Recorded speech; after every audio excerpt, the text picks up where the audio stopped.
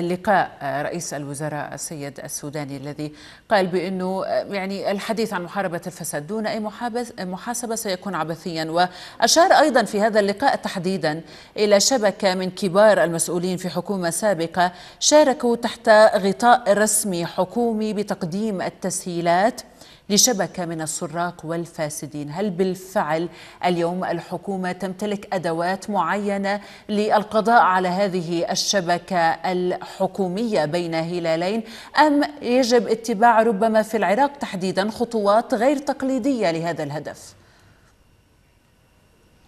يعني هو حقيقة الأسماء التي تم الحديث عنها من بينها السيد مدير مكتب رئيس الوزراء هنالك نائب السيد هيثم الجبوري. هذه الأسماء المعلنة.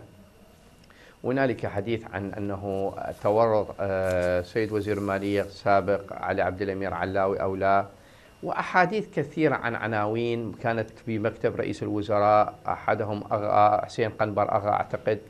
وهذه الأسماء التي تم تداولها والموسوي وأسماء كثيرة. حقيقة لحد هذه اللحظة لم نجد شخص خلف القضبان. أعتقد أن هنالك حديث فقط الموسوي. أما الأسماء التي يتم ترددها في البعض أعتقد صدور مذكرة إلقاء قبض ومصادرة أموال المنقولة والمنقولة السيد رائد جوحي مدير مكتب رئيس الوزراء عدا ذلك أنه محاسبة الأسماء التي هي غير معروفة والتي تحدث عنها رئيس وزراء رؤوس كبار هؤلاء ليس رؤوس كبار وإنما هؤلاء أدوات تنفيذية. يعني مثلا السيد هيثم الجبوري تم الحديث عن استعادته الأموال. لا بل وصل إلى مرحلة أنه طالب باسترداد الأموال على سعر الصرف ب 1320 الرسمي في حين أنه الأموال التي يجب أن يستردها بالدولار. أعتقد هذا نوع من الاستخفاف حتى في قضية استعادة الأموال باعتبار أن الدولة أقرضته مبلغا وممكن أن يعيده وليس هو اتهام بالفساد. وسمح تم السماح له بأن يشكل كيان ويشارك في الانتخابات. هذا الكيان كان موجودا وعنوانه موجود تم تداوله في وسائل التواصل في وسائل الإعلام. بالنتيجة النهائية كل هذه المعطيات لا تتحدث عن رؤوس كبار.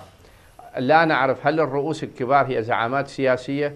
السيدة بلاسخر تحدثت بكل صراحة بأنه لا يوجد زعيم في أحد تقاريرها ليس هذا وإنما السابق.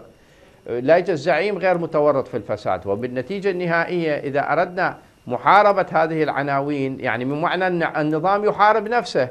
فهذه أنواع من التصعيد بالخطاب والحماس الإعلامي أكثر مما يكون هنالك واقعية. في وجهة نظري الواقعية الحقيقية في محاربة الفساد هو أنه يستمر متابعة الجهود والملفات السابقة. والشخصيات المطلوبة لكن بالمقابل لدينا موازنة صرفت على مدى سنة متابعة ملفات الصرف ومتابعة ملفات هدر المال العام ومتابعة الكثير من القضايا التي تتعلق بالفساد الإداري والمالي صحيح. ثالثا ونقطة مهمة. هنالك حديث عن أموال تم إلقاء القبض عليها. تم التغطية عن هذا الموضوع قرب بابلون وتحدث أحد السيد بنجين عن أن هذه أموال تابعة لأحد المقاولين بناء جسور لكن الموضوع لم يتم التعاطي معه بهذه القضية بأنه ملف فساد خطير أو هذا موضوع كأنما هذه الحكومة ليس لديها أي ملف في ملفات الفساد.